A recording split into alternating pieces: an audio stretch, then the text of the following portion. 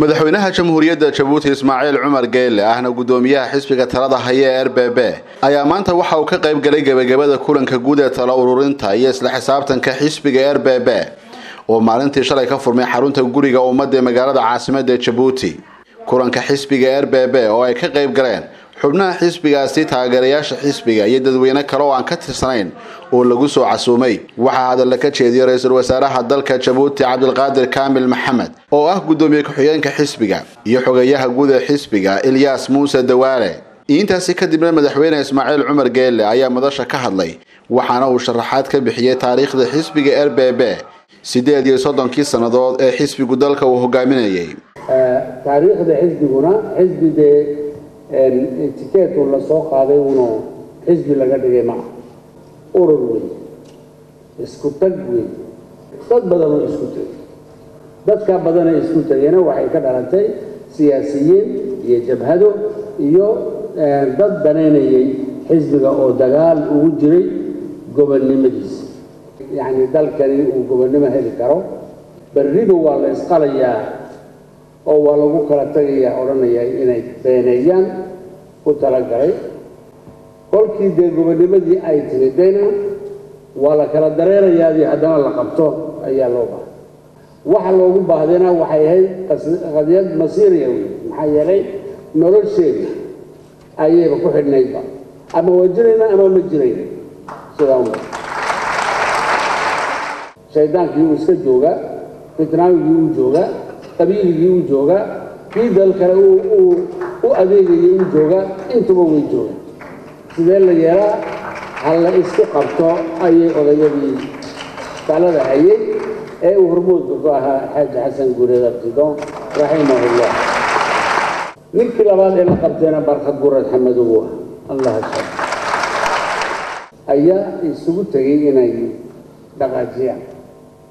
Midnimada ku dhaqaajiyaan in dad midaysan unbaa wax qabsan kara.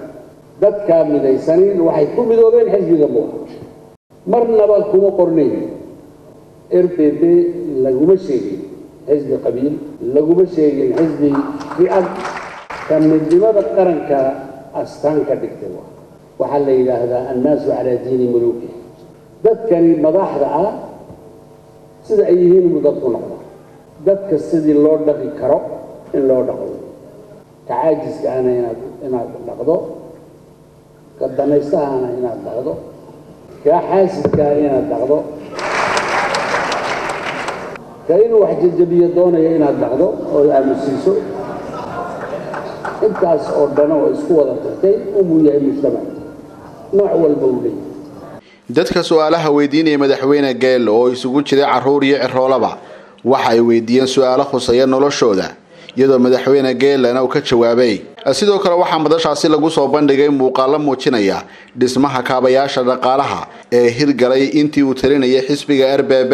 Kaabayaasha dhaqaalaha ee maanta loo soo bandhigay xubnaha xisbiga waxaa ka mid ahaa dhismaha dekedaha dooraale tajoora iyo dekeda milixda leeg casal iyo sidoo kale khadka cusub ee tareenka korontada ku shaqeeya ee isku xidhiiriya dalalka ethoobiya iyo jabuuti waxaa kale oo la soo bandhigay mashruuca biyaha macaan ee dalka ethoobiya laga soo jiiday kaasi oo dhowaan la dahfuray iyo diyaaradda eer jabuuti oo dib loo bilaabay kadib in muddo ah oo khadka ay ka baxday.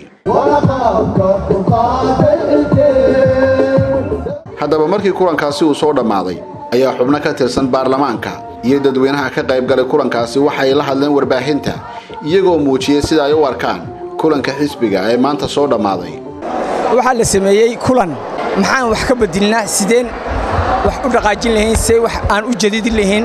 Warta waxaa maaragtay waa kulan isla kulmeen mutadawiciinta xisbiga madaxda xisbiga madaxda waddanka iyo ummadda jabuuti inay meel iskugu yimaadiin ay fikradda isweydaarsadaan falkan maanta lagu dhaqaaqay hawshan maanta lagu dhaqaaqay waa hawl wanaagsan waa hawl maaragtaanay door ah.